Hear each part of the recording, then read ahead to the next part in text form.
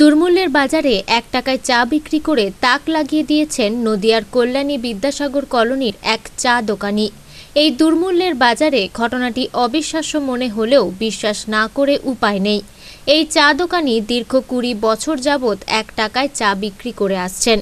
এমনটাই দাবি করেছেন তার দোকানে চা খেতে আসা খদ্দেররা। কত দামের চা খাচ্ছেন? এক টাকা। এখানে কি এক টাকার চাই পাওয়া যায়? আর আর কোন দোকানে কত কত চা পাওয়া যায়? আরে আমরা তো ব্যবসাদার তো। আমি যদি আমি কল্যাণীতে গিয়ে বলি যে আমি বারো হাতে এক টাকা দামের চা খাই আমাকে বিশ্বাস করে না। আমাকে আবার উল্টা মানে মারতে আসে। বলে হতেই পারে না। আমি চল তাহলে বারো হাতে চল। বুঝলেন?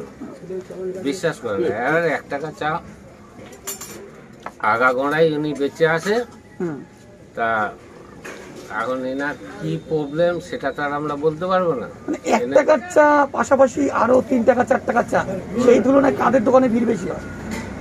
এবার এবার চার টাকা চা যারা বেচে তাদের দোকানেও ভিড় হয় এই দোকানেও ভিড় হয়। এবার এক টাকা চা খেতে এসে খরিদাররা তার সঙ্গে বিস্কুট খায় বিড়ি নেয় অমুক নেয় সব- সব কিছু নেয়। আবার অন্য অন্য দোকানে ধরুন একটা একটা চা খেয়ে চলে যায়। এই একটা ব্যাপার। কত বছর ধরে এখানে চা খাচ্ছেন মোটামুটি? হ্যাঁ অনেক প্রায়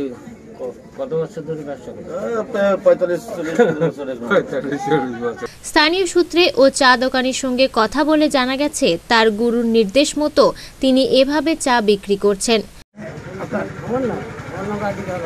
হ্যাঁ? কোথায় বাড়ি?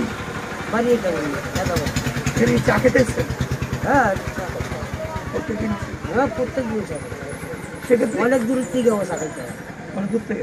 পেট ভাঙবে সেই চার দোকানে এক টাকা চা এখনও আছে পৃথিবীতে তখন আমার মারামারি ও আছে হ্যাঁ তারপরে এনে পেট বাঁধে যদি ওই এক টাকার সাথে কি হবে? সে তোর পাঁচশো টাকা দিবে। মানে বাজিও ধরা আর হয় বাজি বাজি ধরা হয়।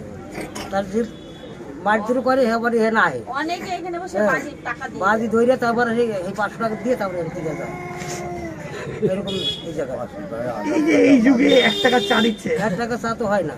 কি করে দিচ্ছে যে সে গুরুদেবের আশীর্বাদ আছে ওই এক টাকা চা আমি মানুষ বাঁচে না উনি তো একজন গৃহবধূ কত বছর ধরে এই ব্যবসা করছে? এই ব্যবসা কম আসব চল্লিশ বছর। সেক্ষেত্রে আপনার এলাকাবাসীরা খুশি এই এক চা টাকা গরিব যারা পরিবারে রয়েছে তার দুই মেয়ে আর স্বামী। এভাবে সততার সঙ্গে এক টাকায় চা বিক্রি করে দিন গুজরান করছেন এই চা দোকানি। কি নাম আপনার? উষারানী জয়ধান কোথায় বাড়ি? বিদ্যাসাগর কলোনি এক নম্বর ওয়ার্ড। কোন পৌরসভা? পৌরসভা। কে কে আছে বাড়িতে? বাড়িতে দুই ছেলে দুই ছেলের বউ নাতিপুতি আমার সবাই আছে। সে- স্বামী কি? স্বামী রাজমিস্ত্রি কাজ করে। সেক্ষেত্রে আপনি চায়ের দোকান চালাচ্ছেন কবে থেকে? চায়ের দোকান চালাইছি অনেক দিনের থেকে। দুই হাজার সালের অনেক আগের থেকে। তা তখন বিক্রি করতাম? পঞ্চাশ পয়সা? দশ পনেরো বছর হবে? দশ পনেরো বছর না বেশি। তাও মনে হয় প্রায় তিরিশ বছরের কাছাকাছি। হ্যাঁ চা বিক্রি করি। চল্লিশ পয়সা। লাল চা হয়েছে চল্লিশ পয়সা দুধ চা হয়েছে পঞ্চাশ পয়সা। এটা কত কত বছর পর্যন্ত বিক্রি করেছিলেন? এটাও প্রায় দশ বছরের মতন বিক্রি করছি। কত সাল পর্যন্ত এটা?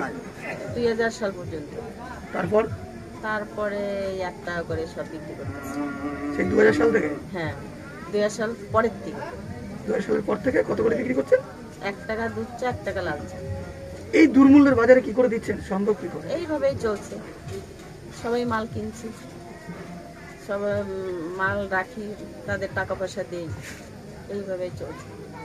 আচ্ছা এই যে কেমন ভিড় হয় প্রত্যেকদিন? এরকম এই ভিড় সকাল বিকাল দুবেলায় মোটামুটি ভালোই কাস্টমার থাকে। কত কত কাপ বিক্রি হয় সতিনে? সেটা তো আমার হিসাব নেই। আমার ওই তিনশো হ্যাঁ দুইশো আড়াইশো কোনো দিন তিনশো সব দিন তো একরকম বিক্রি হয় না। এখানে তো আরও চায়ের দোকান আছে তাদের দাম কীরকম? কাজের পাঁচ টাকাও আছে চার টাকাও আছে ছ টাকাও আছে। তো সেক্ষেত্রে তাদের দোকানে ভিড় হয় না? হ্যাঁ তাদের দোকানে মোটামুটি হয় কম হয় আমার দোকানটা বেশি। তাদের চায়ের সঙ্গে আপনার চায়ের পার্থক্যটা কি? এখন সেটা বলতে পারে খদ্দের সেটা তো আমি বলতে পারি না। এই সারাদিনে কত উপার্জন হয়? ওই আমি মাল মিটার আহ, সব আহ, রেখে টেখে দেড়শো দুইশো। দুবেলা? হ্যাঁ। কবেলা দোকানদারি করে দুবেলাই করি। কটা থেকে কটা? সকালে কটা বিকাল কটা সকাল ওই ছটার থেকে ওই নটা দশটা অব্দি থাকি। আর বিকেলে? বিকেলে তিনটার থেকে রাত্রি নটা সাড়ে নটা কি দশটা অব্দি থাকি। সংসারের কাজ সামলে কি করেন না? না আমি সংসারের কাজ তেমন কিছু করি না কারণ ছেলের বোর্ডা আছে তো ওরাই টুকটাক করে। তাহলে যখন ছেলের বউ আসেনি তখন কি করতে হতো? তখন সবাই করতে হতো। সব করে এসে কি?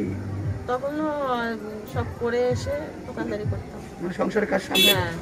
রাস্তার ধারে টালির কুড়ে ঘরে বসে ধোঁয়া উড়িয়ে প্রতিদিন তাকে চা বিক্রি করতে দেখা যায় বিদ্যাসাগর কলোনির এক কোণে। দারিদ্র তার নিত্য সঙ্গী কিন্তু তাতে কি আসে যায়? তার সঙ্গে কথা বলে জানা গেছে হে দারিদ্র তুমি করিয়াছ মোরে মহান। এভাবেই তিনি জীবনের পথ হাঁটছেন। কি নাম? কোথায় বাড়ি?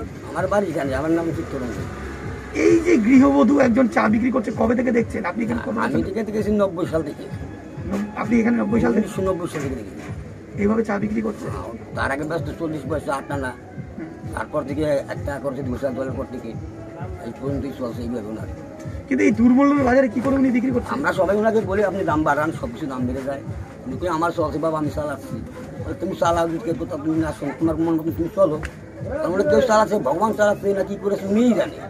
আমি তো গিয়ে মাঝে মাঝে ওনাকে কই কি করো তুমি তোমার তোমার কীভাবে পোষায় সকালবেলা কি চা খেতে প্রত্যেকদিন আসে সকাল? হ্যাঁ সকালে আসি বিকেলে আসি দুপুরে আসি। এরকম কত লোক আছে? এরকম লোক চারশো পাঁচশো হয় দুপুরে মিলে ধরো।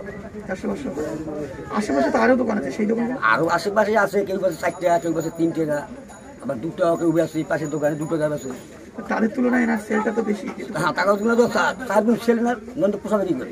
কিন্তু এখানে একটা প্রশ্ন থেকে যায় যে এই চায়ের মধ্যে কোনো ডিফারেন্স আছে খাওয়া সে বলতো এক টাকায় যে চাটা দেয় এক টাকার যে চাটা উনি দেয় এই কোনো দিতে পারবে না দু টাকায়। উনি হেঁটে এক টাকায় কিন্তু কি পার্থক্য মনে হচ্ছে? এই চার টাকার চা সবই তো দুধ চা আর চিনি। হ্যাঁ দু টাকা চিনি। সেক্ষেত্রে পার্থক্যটা কি কম বেশি ব্যাপার আছে? কম বেশি ব্যাপার নেই কেউ গেলাসে দেয়। আর আপনার ছোট কাপে এক টাকা জেনে স্যার ইনি হচ্ছে কাছে গেলাসে।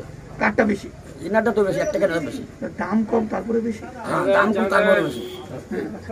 একদিকে যখন সমাজ দুর্নীতিতে ছেয়ে গেছে তখন এক টাকায় চা বিক্রি করে এই গরিব চা দোকানি দেশের দৃষ্টান্ত স্থাপন করেছেন এক আদর্শ জীবন হিসেবে। এমনটাই মনে করেন সাধারণ মানুষ। তাই সকাল হতে না হতেই দূর দূরান্ত থেকে সকলে এসে ভিড় জমায় এই চা দোকানির এক টাকার চায়ে চুমুক দিতে। এমনই চিত্র ধরা পড়েছে আমাদের ক্যামেরায়। কেমন বিক্রি হয় সারাদিনে?